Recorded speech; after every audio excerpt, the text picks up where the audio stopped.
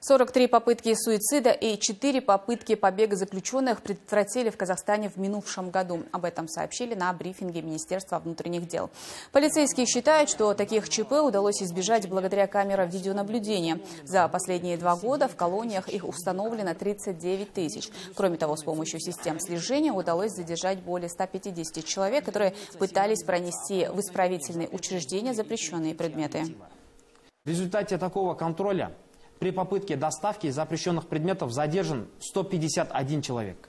То есть пресечены попытки проноса 267 телефонов, 33, 33 литра спиртных напитков и около 2 килограммов наркотических веществ.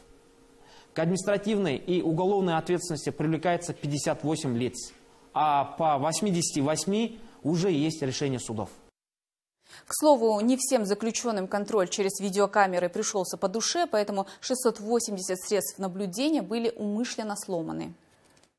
Появилась тенденция умышленного повреждения видеокамер отдельными осужденными. Повреждено и выведено из строя 683 камеры видеонаблюдения.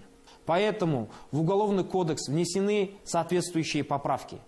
А именно, введена новая статья, то есть статья 428 прим. 1, называется умышленное уничтожение или повреждение системы видеонаблюдения в учреждениях уголовно-исполнительной системы, следственных изоляторах и изоляторах временного содержания.